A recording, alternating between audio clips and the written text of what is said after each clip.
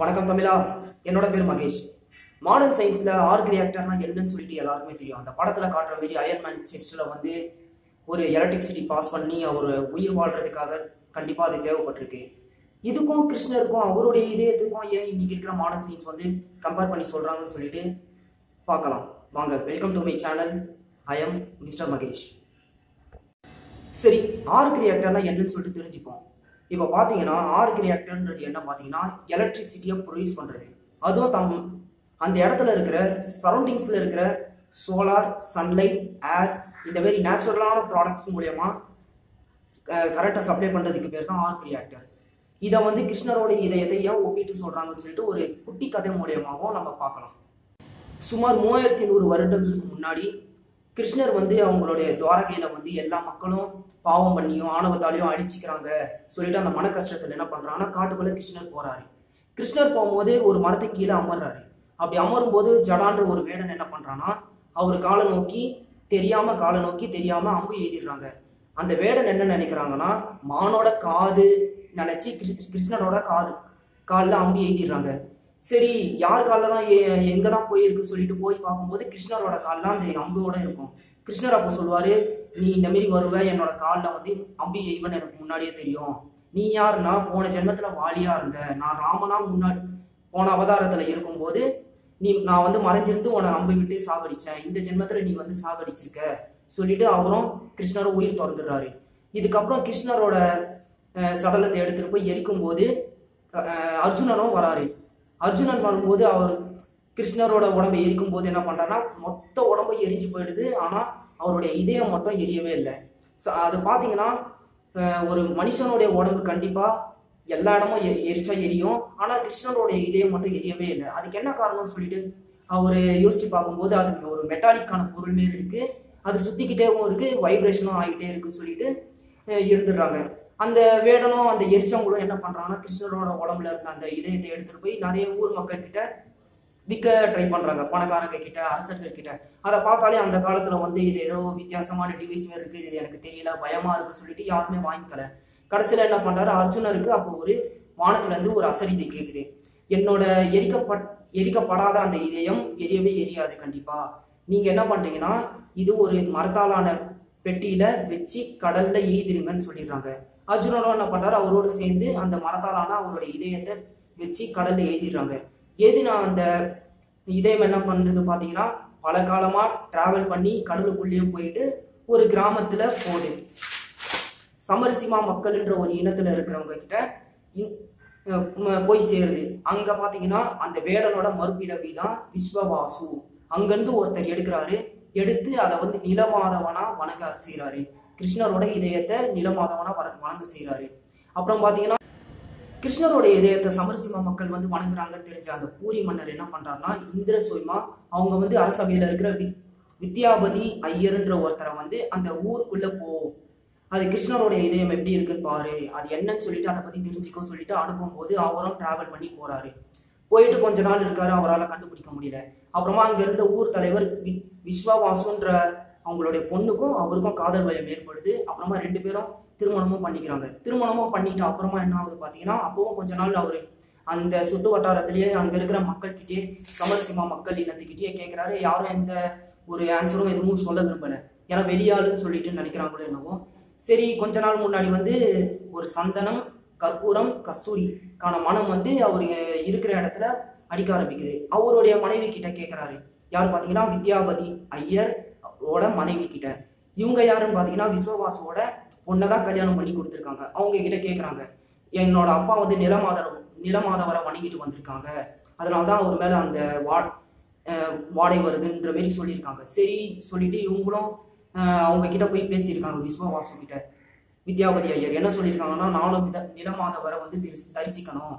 நீங்கள் எனக்கு அனுமதி அனுமதி அனுமதிக்க முடியுமான்னு கேட்டிருக்காங்க. அதுக்கு அவர் என்ன சொல்லியிருக்காருன்னா சரி நான் ஒன்று அனும அனும வித்யாபதி வந்து விஸ்வவாசன் கிட்ட என்ன கேட்குறாரா நானும் நிலமாதவரை வணங்கணும். நிலமாதவர்ன்றது என்னன்னா கிருஷ்ணரோட இதயத்தை தான் சமரசிம மக்கள் இனம் வந்து நிலமாதவராக நினைச்சு வணங்குறாங்க. அதுக்கு பேர் தான் நிலமாதவர்.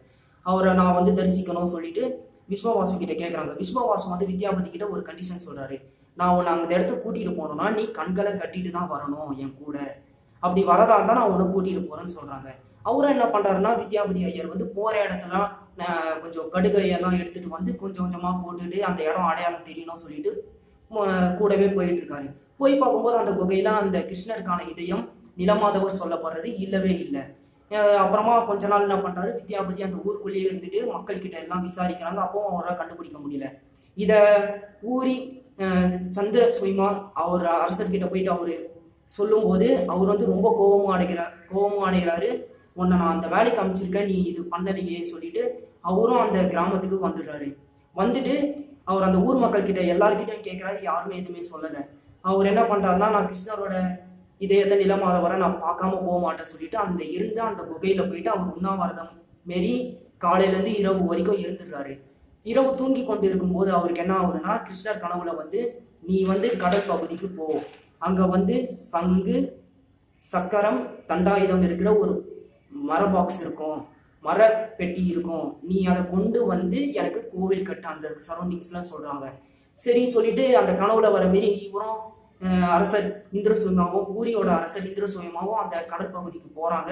போயிட்டு பார்க்குறாங்க ஆனால் அதை எடுக்க முடியல. அவருடைய மொத்த ஆர்மியினால சோல்ஜராலையும் அதை எடுக்க முடியல. சரி சொல்லிட்டு அவர் திருப்பியும் கோச்சிக்கிட்டு கடவுள் மேலே இருக்கிற பக்தியாலையும் திருப்பியும் அதே குகையில் போயிட்டு என்ன பண்ணுறாங்கன்னா திருப்பியும் அவங்க தூங்குறாங்க. உண்ணாவிரதம் இருக்காங்க. அன்னைக்கு நைட் கிருஷ்ணர் திருப்பி அவங்க கனவுல வந்து என்ன சொல்றாருன்னா நீ வந்து இங்க இருக்கிற அஹ், ச- மக்கள் கிட்ட உதவி கேளு. என்னை என்ன நினைச்சு வழிபடுற மக்கள் கிட்ட நீ உதவி கேளு. அவங்க உனக்கு உதவி பண்ணுவாங்க சொல்லிட்டு அந்த மக்கள் கிட்ட கேட்டு அங்க இருக்கிற சங்கு சக்கரம் தண்டாயுதம் இருக்கிற அந்த மர மரப்பெட்டியை எடுத்து எடுக்கிறாங்க. எடுத்துக்கிட்டு அவங்க போயிடுறாங்க. கோயிலும் கட்ட ஆரம்பிச்சிடுறாங்க. அப்படி கோயிலும் கட் கட்டிக்கிட்டே இருக்கும்போது அவங்க என்ன பண்ணுறாங்கன்னா அந்த மரத்தாலான அந்த பெட்டியை வந்து அவங்க என்ன பண்ணாலும் ஒன்றுமே சிற்பத்தை செதுக்க முடியல. சிற்பம் செதுக்கிற அந்த ஒளியே பார்த்தீங்கன்னா கூட உடஞ்சே போயிடுது. அந்தளவு ஸ்ட்ராங்காக இருக்குது இது ஏதோ ஒரு ஆன்மீக பூர்வமாக இருக்குது சொல்லிட்டு அவங்க யோசிச்சுக்கிட்டே இருக்கும்போது அவங்க ராஜ்யத்தில் பூரி ராஜ்யமில் அங்கே ஒரு வழிபோக்கர் வராரு. அவர் தான் கிருஷ்ணர். அங்கே ஒரு வழிபோக்கர் வராரு. அவங்க என்ன சொல்கிறாங்கன்னா நான் இருபத்தி ஒரு நாளில் இந்த மர மரத்தாலான பெட்டியில் நான் வந்து சிலையை செதுக்கி தரேன். ஆனால் ஒரு கண்டிஷன் சொல்லிட்டு அந்த வழிபோக்கர் சொல்கிறாரு அந்த இருபத்தி ஒரு நாட்களும் நீங்கள் எனக்கு எந்த தொந்தரவும் இருக்கு பண்ணக்கூடாது. என்னை வந்தும் பார்க்கக்கூடாது சொல்லிட்டு அவர் ஒருத்தரே அந்த பெட்டியை யாராலையும் எடுக்க முடியாத அந்த பெட்டியை சபரிசிமா மக்கள் வந்து எடுத்த முடி முடிஞ்ச அந்த பெட்டியை மட்டும் எடுத்துக்கிட்டு அவரு போகிறாரு போயிட்டு கோயிலுக்குள்ள கதவு மூடிடுறாரு. கதவு மூடிட்டு எல்லாம் அங்கே ஊரியில் இருக்கிற மக்கள் அப்புறமா அந்த இந்திரசிம்மாவோட ராணி அவங்க எல்லாம் பேசிக்கிறாங்க. உள்ள போய் ஒரு மனுஷன் இருக்காங்க. எப்படி சாப்பிட்டாங்களா தூங்குனாங்களா என்ன பண்றாங்க ஒண்ணுமே தெரியல. உண்மையிலே சிற்பத்தை தான் பண்ணுறாங்களா பண்றாங்களா இல்ல என்ன அந்த மர பெட்டியை மட்டும் எடுத்துட்டு போயிட்டாங்களே உள்ள சங்கு சக்கரம் எல்லாம் இருக்கு அதுக்கான பொருள்லாம் என்ன பண்ண போறாங்கன்னு தெரியாம இருபத்தி ஒரு நாள் என்னை டிஸ்டர்ப் பண்ணக்கூடாதுன்னு சொல்லிட்டு உள்ள இருக்காரு ஒருத்தர். ஆனா வெளியே இருந்து ராஜ்யத்துக்கு வெளியே நிறைய பேர் வந்து மக்கள் வந்து நிறைய குழப்பம் அடைகிறதால ராணி என்ன சொல்லிடுறாங்கன்னா ராஜா கிட்ட நீங்க ஓபன் பண்ணி பாத்துருங்க பதினஞ்சு நாளுக்குள்ளே. பதினஞ்சாவது நாளே ஓபன் பண்ணி பார்த்துட்டாங்க. அப்படி பார்க்கும்போது என்ன ஆகுதுன்னா உள்ள இருக்கிற அந்த அஹ், வழிபோக்குறம் காணும். அந்த ஒரு சிலை பார்த்தீங்கன்னா ஒரு டாய் மாரியும் ஸ்டாச்சு மாரியும் முழுமையடையாம ஒரு நார்மலான சிலை மாரி இருக்கு. அதுல இருக்கிற கருப்பு சிலை கிருஷ்ணராகவும் வெள்ளை சிலை அவர் அண்ணன் பலராமாகவும் மஞ்சள் சிலை அவருடைய தங்கச்சி சுபத்திரையாகவும் அதை செது செதுக்கி வச்சிருக்காங்க. சுமார் ஐந்து வருடங்களுக்கு முன்னாடி டூ தௌசண்ட் ஃபிஃப்டீன் ஜூன் பதினஞ்சாம் தேதி ஒரு பூரி ஜெகநாதர் டெம்பிளை பற்றி நாலு முழுக்க ஒரு நியூஸ் சேனலில் வைரலாக ஒரு நியூஸ் போச்சு. அது என்னன்னு பார்த்தீங்கன்னா பன்னெண்டு வருஷத்துக்கு பன்னெண்டு வருஷம் கிருஷ்ணரோட இதயத்தை வேற சிலைக்கு மாற்றி அமைப்பாங்க. அதுக்கான ஃபெஸ்டிவலும் பண்ணுவாங்க. சரியா பன்னெண்டு மணி பன்னெண்டு மணி போக அந்த ஒடிசா இடத்துல இருக்கிற பூரின்ற சிட்டில மொத்தம் பவர் கட் பண்ணிட்டு அவங்க ஒரு நாலஞ்சு பேர் வந்து கண்ணை கட்டிட்டு கையில கிளவுஸும் போட்டுட்டு உள்ள போயிட்டு கிருஷ்ணரோட இதயத்தை வேற மரத்தாலான அந்த சிலை பண்ண மாரியே உள்ள வச்சு இது பண்ணிடுறாங்க. ஐம்பது வருடம் முன்னாடி வந்து ஒருத்தர் வந்து என்ன பண்ணிட்டாருன்னா இந்த பாரம்பரியத்தை கொஞ்சம் மாரி கண்ணை கட்டிட்டு தான் இதை பண்றோம். நம்ம கொஞ்சம் கண்ணை திறந்து அது என்னதான் பார்த்துக்கலாம் சொல்லிட்டு பார்க்கும்போது என்ன பார்க்குறாங்கன்னா அந்த இதயம் வந்து பார்க்கறதுக்கு ரவுண்டா இருக்கு மெட்டாலிக்கான பொருளா இருக்கு. எயிட் டைப் ஆஃப் மெட்டல் வந்து அதில் அஷ்டதாத்து யூஸ் பண்ணுற மாரி இருக்கு. அந்த எயிட் டைப் ஆஃப் மெட்டல் அஷ்டதாத்துன்றது என்னன்னு பார்த்தீங்கன்னா gold silver iron copper nickel aluminium mercury and titanium இதெல்லாம் ஆன ஒரு பொருள் மாரி அந்த கிருஷ்ணருடைய இதயம் இருக்கு. அதை வெளியே எடுத்து நம்ம நார்மலாக பார்க்கும்போது லைட் வெளிச்சம் பார்த்தா அது வந்து ரொட்டேட் ஆகுது. எனிதிங் சம்திங் டிவைஸ்ன்ற மாரி சொன்னாங்க. அதனால தான் பவர் கட் பண்ணிட்டு இது பண்ணுறாங்கன்ற மாதிரியும் சொல்லியிருக்காங்க. அதை பார்த்தவங்க ஐம்பது வருஷம் முன்னாடி சொல்லியிருக்காங்க. அந்த கிருஷ்ணரோட இதயத்தை வந்து பிரம்ம பதார்த்தா திவ்ய பதார்த்தா சொல்லிட்டு அங்க இருக்கிறவங்க அழைக்கிறாங்க. கொஞ்ச நாள் முன்னாடி கூட பன்னெண்டு வருஷத்துக்கு பன்னெண்டு வருஷம் பண்ணுற பண்ற ஒரு ஃபெஸ்டிவல் கண்டிப்பா போற டைம் கோவிட் நைன்டீனால தள்ளி வைக்க முடியாது சொல்லிட்டு உச்ச நீதிமன்றத்துல கேஸ் போட்டோம். சரி நீங்க நடத்திக்கோங்க பாதுகாப்பான முறையில சொல்லிட்டு பூரி ஜெகநாதர் டெம்பிள் ராத் யாத் ராத் யாட் ஃபெஸ்டிவலை நடத்தியிருக்காங்க. அந்த டெம்பிள்ல பாத்தீங்கன்னா கருப்பு உருவமா இருக்கிறது கண்டிப்பா கிருஷ்ணரோட சிலையா இருக்கும் வெள்ளை உருவமா இருக்கிறது. பலராமரோட சிலையா இருக்கும். மஞ்சள் உருவமாக இருக்கிறது அவருடைய தங்கச்சியோட சிலையா இருக்கும். அந்த சிலைக்கு பின்னாடி இருக்கிற ஒரு பார்த்தீங்கன்னா ஒரு சக்கரா மாரி இருக்கும். மேலே அந்த சிலைக்கான கோபுரம் மேலேயும் பார்த்தீங்கன்னா ஒரு சக்கரா மாரி இருக்கும். இப்போ இருக்கிற எம்ஐடி ஸ்டூடெண்ட் வந்து இந்த ஆர்க் ரியாக்டரை வந்து கிரியேட் பண்ணுறது பாசிபிலிட்டிஸாக பார்த்தீங்கன்னா ஃபர்ஸ்ட் ஸ்டேஜை கிராஸ் பண்ணி அதை இன்வைட் பண்ணுறதுக்கு முயற்சி பண்ணிட்டு இருக்காங்க. ஃபியூச்சரில் இன்வைட் பண்ணுவாங்க. ஏன்னா இதுக்கான பாசிபிலிட்டிஸ் இருக்குன்னு சொல்லிட்டு சொல்லியிருக்காங்க. சரிப்பா இது வந்து மூவாயிரத்தி நூறு வருஷத்துக்கு முன்னாடி ஆர்க் ரியாக்டரோட நீ ஏன் கம்பேர் பண்ணுறேன்னு பார்த்தீங்கன்னா அந்த இதயமும் கூட வைப்ரேட் ஆகுது ரொட்டேட் ஆகுது. ஒரு விதமான தர்வியம் வந்து மெர்குரி மாரி பாஸ் பண்ணுதுன்ற மாரி தான் சொல்கிறாங்க அதனால ஆர்க் ரியாக்டராகவும் இருக்கலாம். இந்த அயன்மேன் பார்த்தீங்க படம் பார்த்தீங்கன்னா உங்களுக்கு தெரியும். அவர் அவர் வந்து செயல்பட கண்டிப்பாக அந்த ஆர்க் ரியாக்டர்னு ஒன்று கண்டிப்பாக இருக்கணும். அப்படி இருந்தால் தான் அந்த படத்தோட ஹீரோவே செயல்பட முடியும். அதே போல தான் இது அந்த காலத்தில் ancient technology or ancient device அந்த மாரி அட்வான்ஸாக இருந்திருக்கலாம். இப்போ எது ஒன்றும் இந்துசமோட புனிதத்தை கெட்டு போயிடக்கூடாதுன்னு சொல்லிட்டு நம்ம பார்க்காம இருக்கிறதால தான் மனுஷனுடைய அறிவு வந்து இன்னமும் மேம்படாமல் இருக்கு. இதை முன்னாடியே கண்டுபிடிச்சிருந்தாங்கன்னா இன்னமும் நம்ம மனுஷன் நம்மளோட அறிவு வந்து மேம்படுறதுக்கு ரொம்பவே வாய்ப்பு இருக்கு.